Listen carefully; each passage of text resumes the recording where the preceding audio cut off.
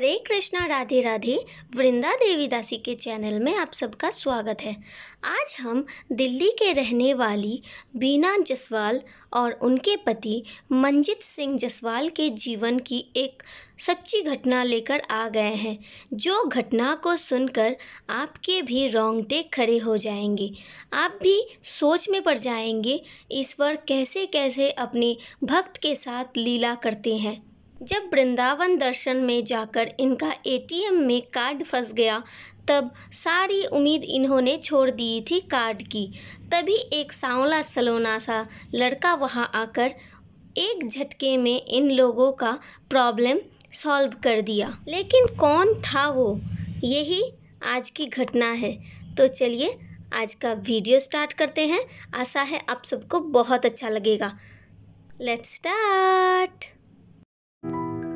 हमारा वीडियो देखने से पहले आप हमारे चैनल को सब्सक्राइब ज़रूर कीजिए और उसके पास जो बेल आइकन है, उसे भी क्लिक कीजिए हमारा नेक्स्ट वीडियो देखने के लिए और हमारे साथ जुड़े रहने के लिए। दिल्ली में रहने वाली वीना जी सीआरपीएफ में नौकरी करती थी। और दो साल हुआ उन्होंने बीआरएस ज्वाइन किया है। इनका बेटा एयर फोर्स में नौकरी करते हैं और तभी नौकरी के कारण से उसे हिमाचल जाना पड़ा था।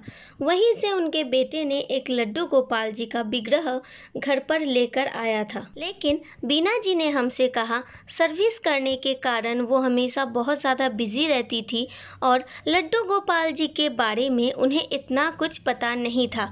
इसीलिए वो जन्माष्टमी को ही लड्डू गोपाल जी को बाहर लेकर आती थी। उनका पूजा करती थी और फिर से उन्हें शोकेस में रख दिया करती थी। तब सर्विस भी चल रहा था, बच्चे भी बहुत छोटे छोटे थे। इसीलिए लड्डू गोपाल जी के बारे में उस, उन्हें उतना कुछ पता भी नहीं था। 2020 की बात है। उन्होंने हमसे कहा, उनके पड़ोसी ने एक नया नया लड्डू गोपाल जी लिया था। अब उनके पड़ोसी को लड्डू गोपाल जी का सारा नियम पता था।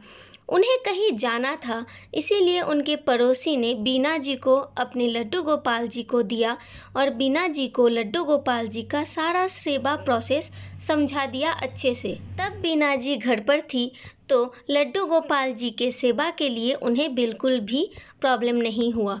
वो बड़े ही प्यार से उन अपने पड़ोसी के लड्डू गोपाल जी को सेवा करने लगी और तभी उनके दिमाग में आया, अरे, हमारे घर पर भी तो लड्डू गोपाल जी है, इन्हें भी तो हम सेवा कर सकते हैं।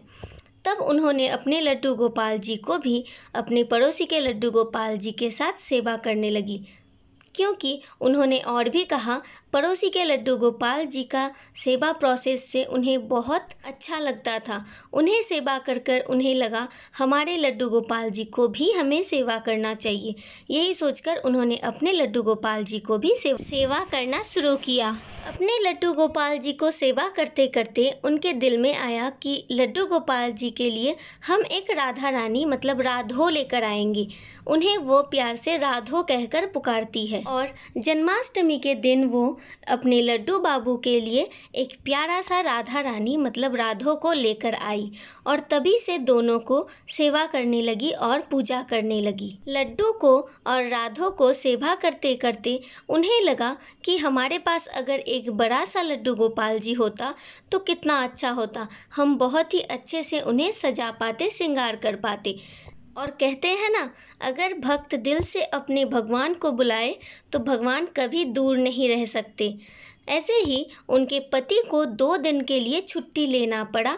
थोड़ी तबीयत खराब थी इसलिए। दो दिन का छुट्टी था, ये देखकर बीना जी की बेटी ने कहा, मम्मा पापा आप दोनों जाकर वृंदावन दर्शन करके आओ।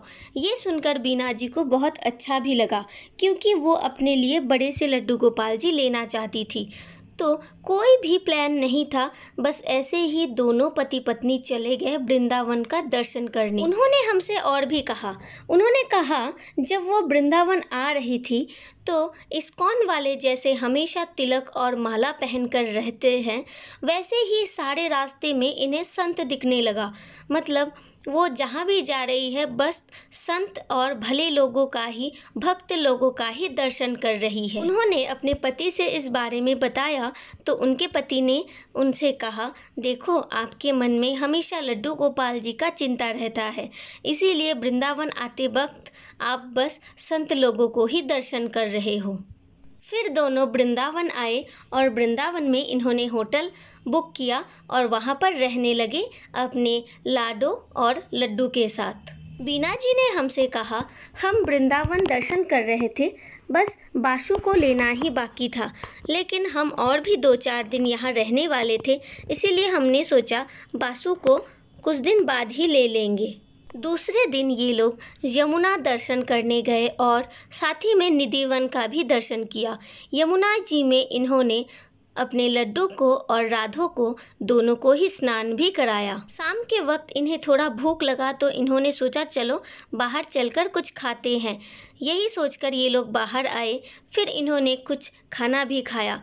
लेकिन जैसे ही ये मंदिर दर्शन करने गए, उन्होंने देखा संडे का दिन था, लेकिन मंदिर में इतना भीड़ था, इतना भीड़ था कि ये लोग ठीक से खड़े भी नहीं हो पा रहे थे। इनको डर था, इस भीड़ में कहीं राधो और लड्डू गिर ना जाए।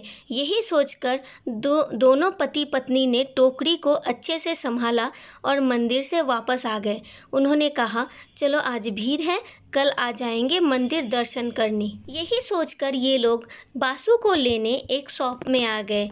वहाँ पर उन्हें बहुत सारा लड्डू गोपाल जी दिखाया गया और उन्होंने बासु को ही पसंद किया और दुकानदार से कहा कि चलो भैया, आप इन्हें हमें दे दो। बासु को वहाँ से लेने के बाद उन्होंने बासु के लिए श्रृंगार, पोशाक, जो भी लगता है सब कुछ खरीदा।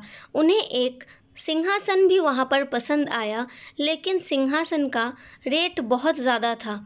उन्होंने बार बार दुकानदार से कहा, अगर इसका थोड़ा दाम आप कम करोगे तो शायद हम इसे ले पाएँगे। लेकिन दुकानदार मानने वाला ही नहीं था।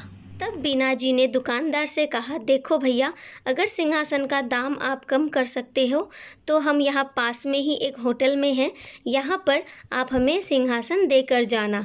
ये कहकर वीना जी वहाँ से बासु को और उसका जो सारा सामग्री उन्होंने ड्रेस वगैरह ख़रीदा था सब कुछ लेकर होटल में आ गई। उसी रात बीना जी ने एक सपना देखा। उस सपने में उन्होंने देखा एक बच्चा जिसने बिल्कुल भी कपड़ा नहीं पहना है बहुत ज़ोर ज़ोर से रो रहा है। और? उस बच्चे की मम्मा बहुत ज़्यादा कोशिश कर रही है अपने बच्चे को छुपाने के लिए लेकिन बच्चा जैसे चुप ही नहीं रहा था। तो बीना जी ने कहा, मुझे दे दो, मैं संभाल लेती हूँ, आप नहीं संभाल पाओगे। और यही बात कहकर बीना जी का नींद टूट गया। फिर उन्होंने बासु को देखा तो उन्होंने देखा बासु के बदन में भी कोई कपड़ा नहीं है, लेकिन उनके पास कोई टोकरी ना होने के कारण उन्होंने बासु को पैकेट से मतलब पैकिंग से नहीं निकाला। उन्होंने सोचा, चलो एक दिन की ही तो बात है, कल हम रहेंगे, परसों घर चले जाएँगे। तो बासु को ऐसे ही रहने देते हैं, क्योंकि हमारे पास कोई टोकरी भी नहीं है कि हम उस पर उन्हें लेकर जा पाए। यही सोचकर उन्होंने बासु को पैकिंग से नहीं निकाला। अब नेक्स्ट दिन 12 मार्च 2021 की बात है। बीना जी और उनके पति ने तय किया, चलो अब घर चलना है। इसीलिए दोनों मिलकर चले एटीएम से पैसा निकालने। क्योंकि होटल का पेमेंट भी उन्हें करना था।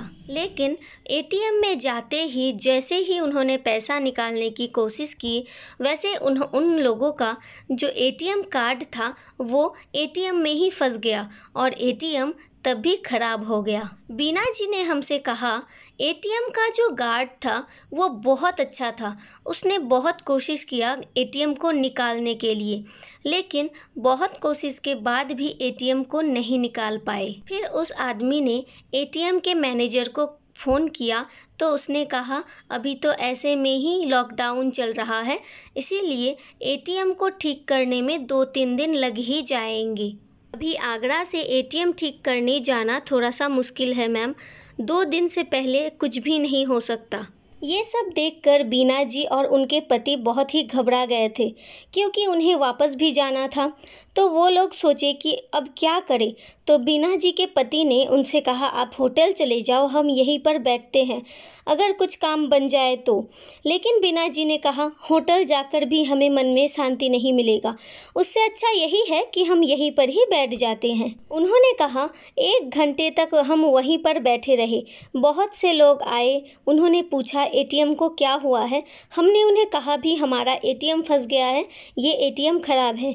ये बात सुनकर सब लोग एक एक करके चले गए, लेकिन किसी ने भी हमारी मदद नहीं की। एटीएम के वहाँ पर बैठकर ही हम सोच रहे थे कि इसका क्या उपाय हो सकता है, कैसे हम इस प्रॉब्लम से निकले।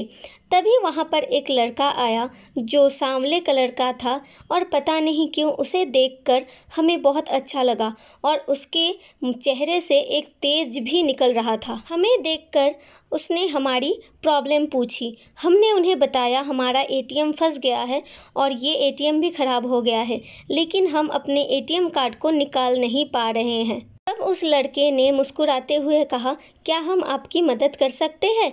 क्या हम आपका एटीएम निकाल कर दें? ये बात सुनते ही बीना जी और उनके पति को बहुत आनंद आया। उन्होंने कहा, क्यों नहीं बेटा? कब से हम यहाँ पर वेट कर रहे हैं, लेकिन किसी ने भी हमारी मदद नहीं की। अगर आप कर पाओगे तो ये हमारे लिए बहुत ही उपकार होगा। लेकिन बिना जी ने और एक बात भी कहा। उनके दिमाग में आया कि अगर ये फ्रॉड निकला तो क्योंकि अभी दुनिया ख़राब है, हम किसी के ऊपर भी ऐसे ही विश्वास नहीं कर सकते। लेकिन इसके अलावा उनके पास कोई चारा भी नहीं था तो उन्होंने कहा, ठीक है बेटा, आप थोड़ा सा कोशिश कर लो। उस लड़के ने थोड़ा सा कोशिश किया, लेकिन कार्ड बाहर नहीं आया। तो उसने कहा, अगर एक प्लस होता तो बहुत अच्छा होता, हम अभी कार्ड को निकाल देते। तो हमारे पति जल्दी से होटल गए और वहाँ से एक प्लस लेकर आए। और जैसे ही उसके हाथ में दिया, उस लड़के ने कार्ड को प्लस से पकड़ा और एक झटके में निकल, निकाल दिया। एटीएम का कुछ भी नहीं टूटा, कुछ भी खराब भी नहीं हुआ। सबसे आश्चर्य वाली बात जो उन्होंने कही, उन्होंने जब उस लड़के को थैंक यू कहा तो उन्होंने कहा, ये थैंक यू कहने की क्या बात है? सब कुछ उन्हीं के इच्छा से ही होता है और उन्हीं के इच्छा से हम यहाँ पर आए हैं। बीना जी ने कहा, उसके मुँह से ये बात सुनकर हमें बहुत अच्छा लगा। लगा जैसे कि ठाकुर जी ने ही इसे हमारे लिए भेजा था। और इसने हमारा मदद किया। एटीएम कार्ड को हमारे हाथों में देकर ही लड़का कहीं जैसे चला गया। फिर बीना जी ने कहा, उस लड़के को हमने बहुत ढूंढा, लेकिन वो हमें कहीं भी नहीं दिखा। इसके बाद भी हमारे लड्डू गोपाल जी के बहुत से ऐसे चमत्कार हैं जो हमने अनुभव किया है। लेकिन हमारे जीवन में ये चमत्कार सबसे बड़ा था, जो कि उस लड़के ने हमसे कहा था कि ठाकुर जी की इच्छा से ही हम आपके पास आए हैं। इतना बड़ा चमत्कार तो बस ठाकुर जी ही कर सकते हैं, वही अपना लीला दिखा सकते हैं। इसीलिए हमने सोचा, ये बात आप सब तक पहुँचाए और सबको ठाकुर जी की कृपा के बारे में पता चले। उसके बाद बीना जी और उनके पति होटल वापस आ गए। होटल आते ही उन्होंने देखा जो सिंहासन उन्होंने बासु के लिए पसंद किया था, वो उसी सिंहासन को हाथ में लेकर दुकानदार खड़े हैं और बीना जी के कहे हुए प्राइस में ही दुकानदार ने सिंहासन बीना जी को दे दिया। बीना जी, आपको बहुत बहुत बहुत बहुत धन्यवाद कि आपने हमारे साथ इतना सुंदर भगवान का एक लीला कथा शेयर किया। बीना जी ने हमसे और भी बहुत कुछ कहा। लड्डू गोपाल जी को जब उन्होंने प्रतिष्ठा किया था, तभी से उन्होंने भेज खाना शुरू किया था, लेकिन उनके पति को थोड़ा प्रॉब्लम था, जो वो भेज खाना नहीं खा पा रहे थे। लेकिन बासु के आने के बाद हमारे पति बिल्कुल बदल गए और हमारा पूरा का पूरा परिवार जैसे खुशी से झूम उठा और सब लोग भक्त बन गए। बीना जी ने और भी बहुत कुछ कहा। मेरा बेटा एयरफोर्स में काम करता है, इसीलिए उसे हमेशा ही बाहर रहना पड़ता है। मेरी बेटी का बहुत एक अच्छे से घर पर शादी हो चुका है और उनके ससुराल वाले बहुत अच्छे हैं और हमारी बेटी बहुत खुशी खुशी वहाँ पर रहती है। हमारे पति को भी ऑफ़िस के लिए हर रोज़ जाना पड़ता है। इतने बड़े घर पर कोई भी नहीं है। बस हम और हमारे तीनों बच्चे को लेकर कैसे हमारा दिन चला जाता है कभी पता ही नहीं चलता। लेकिन और भी एक बात है। पूरा घर खाली होने के बाद भी हमें कभी ऐसा नहीं लगता कि पूरा घर खाली है, क्योंकि बच्चे की किलकारियाँ घर पर गूंजती ही रहती है। अगर कोई भी हमसे पूछता है कि आप अकेले घर पर रहते हो तो हम उन्हें खुशी खुशी कहते हैं, नहीं नहीं, हम अकेले थोड़ी ना है। हमारी बेटी, दो बेटे और हम चारों मिलकर बहुत मज़े करते हैं पूरा पूरा दिन। सच्ची कहते हैं सब लोग भक्त के बस में है भगवान। अगर भक्त अपने भगवान से इतना प्रेम करेंगे, इतना लाड लड़ाएँगे तो प्रभु कैसे अपने भक्त से दूर रह पाएँगे? आशा है बीना जी के जीवन का ये घटना आप सबको बहुत अच्छा लगा होगा। अब हमें बताइए, बीना जी के जीवन का ये अनुभव आप सबको कैसा लगा? अगर अच्छा लगा हो, दिल को कहीं भी छुआ हो तो हमारे इस वीडियो को ज़्यादा से ज़्यादा शेयर कर दीजिए, ताकि सबको ये लीला सुनने का मौका मिले, क्योंकि हम भक्त हैं, और भक्त का यही कर्तव्य है कि भक्त भगवान की लीला सब तक पहुँचाए। और अगर आप हमारे चैनल में नए हैं तो प्लीज़ हमारे चैनल को सब्सक्राइब कर दीजिए, बेल आइकन भी प्रेस कर दीजिए नया नया वीडियो देखने के लिए। मिलते हैं नेक्स्ट वीडियो में। ऐसे ही अपने गोपू के साथ, अपने फैमिली के साथ हँसते रहे, खेलते रहे। Hare Krishna, Radhe Radhe thank you for watching